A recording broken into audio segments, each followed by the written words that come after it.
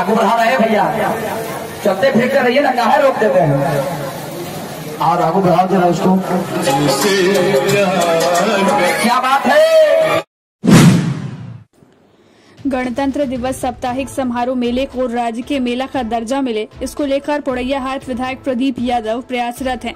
विधायक प्रदीप यादव ने बीते विधानसभा बजट सत्र में अपनी मांग सरकार के समक्ष रखी थी और गोड्डा गणतंत्र दिवस मेले को राज्य के मेला घोषित करने की मांग की थी, जिस पर आज विधायक ने बताया है कि सरकार से उन्हें उत्तर प्राप्त हुआ है, जिसमें यह बात सामने आई है कि जिला पर्यटन संवर्धन समिति की अनुशंसा के आलोक में राज्य पर्यटन संवर्धन समिति अपनी अनुशंसा सरकार को भेजेगी, उसके बाद इस पर विचार होगा।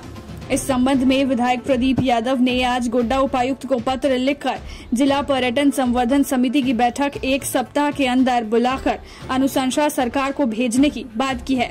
आपको बता दें कि प्रत्येक गणतंत्र दिवस के अवसर पर आज़ादी के बाद से ही लगातार गोड्डा में लगने वाला गणतंत्र दिवस साप्ताहिक मेले को यदि राज्य के मेला का दर्जा मिल जाता है तो यह गोड्डा के लिए बड़ी उपलब्धि होगी। इसके हो जाने से इस मेले पर सरकार की विशेष सुविधा व फंड मिल सकेंगे, जिससे इसका और भी विकास होगा। आपको बता दें कि गोड्डा के बगल में स्थित जिला दुमका में लगने वाला हिजला मेला को राज्य के मेला का दर्जा प्राप्त है।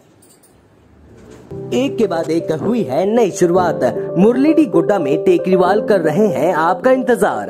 अत्याधुनिक मशीनों से सजा टेकरीवाल हीरो शोरूम है तैयार। सर्विसिंग हो या फिर लेना हो आपको नए हीरो का साथ। शोरूम में सारे मॉडल पर आसान किस्तों का है उपहार। वैक्सीनेटेड टीम और सैनिटाइज्ड वातावरण के साथ हीरो शोरूम है कोविड सुरक्षित। तो देर किस बात की? आज ही हीरो की प्रीमियम बाइक की खरीदारी करें और पाए पाँच हज़ार रूपए का कैश डिस्काउंट। और ग्लैमर 125 की खरीदारी पर एक्सचेंज या लॉयल्टी के तहत तीन हज़ार रुपए का डिस्काउंट